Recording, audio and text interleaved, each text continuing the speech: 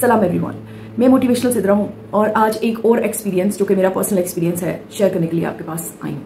मेरे साथ लाइफ में ऐसा बहुत बार हुआ कि मेरे बारे में या तो कुछ क्रिएट किया मतलब खुद ही बना लिया, या फिर कुछ सुना दोनों सूरतों में।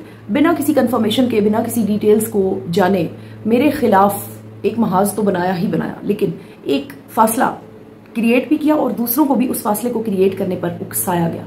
The story behind was I didn't know but when I came to know I was not having anything to say except of just smiling smile करने की वजह यह है कि मोस्टली जिन लोगों के साथ ऐसा हुआ होगा, वो इससे रिलेट करेंगे खुद को कि most of the incidents don't belong to us मतलब वो तो सिरे से ही हमारे साथ ताल्लुक नहीं रखते। लेकिन कुछ ना कुछ जो मिलता भी है, उसकी डिटेल्स भी ऑलमोस्ट डिफरेंट होती हैं।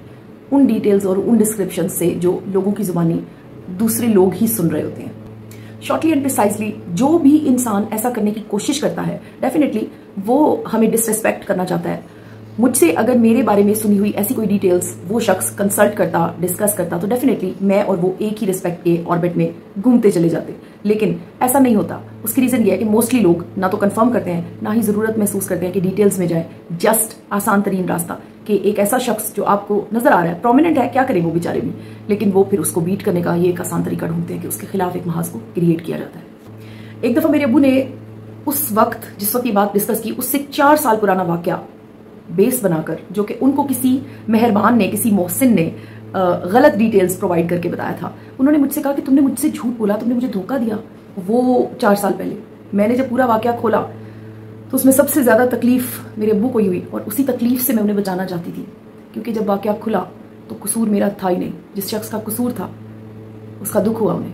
And he said sorry to me I said I was not intended to ask you to pass through this situation मैं इसी सिचुएशन से आपको बचाना चाहती थी। लेकिन मुझे अच्छा लगा कि आपने मुझसे कंफर्म किया।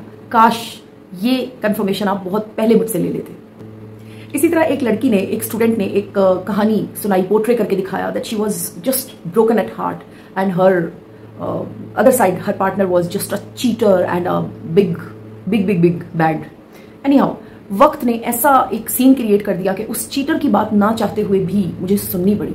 आप यकीन करें, मैं इतना ज़्यादा टॉर्चर से गुजरी कि मेरा एक तो इमेज उस लड़की के बारे में तो शटर हुआ ही, वो तो एक हकीकत है। लेकिन मुझे ज़िंदगी में खुद इस चीज़ की बहुत अच्छे से समझ आई कि we should consult the other side also इसका ये मतलब नहीं कि आप हर शख्स की अदर साइड को डिस्कस करेंगे, सिर्फ़ उस शख्स की जिसके साथ आपका इंटरेक्शन है, ताल्लुक है, जिसके साथ आपका एक सेंसिटिव सॉफ्ट कॉर्नर है, कहीं ना कहीं से आपको हिट करता है। और एक वाक्य नाकाबिल फरामोश है मेरी ज़िंदगी का, जिसमें एक लड़की को, एक बहुत अच्छी लड़की को, एक लड़के ने ट्रैप करने की कोशिश की, जिसमें उसने उसे कहा कि मैं अपनी वाइफ को डिवोर्स कर चुका हूँ और I am willing to get married to you and he just sent his family and all that later on जो कलई खुली, मैंने ही उस बच्ची को फोर्स किया कि तुम पता करो, तुम थोड़ा सा तरद करो, थोड़ा सा प्रोव करो, कोशिश करो, इसी बंदे से कोशिश करो कि यही तुम्हारी अपनी एक्स वाइफ से बात करवा दे, जिसको इसने सो कॉल डिवोर्स कर दिया है।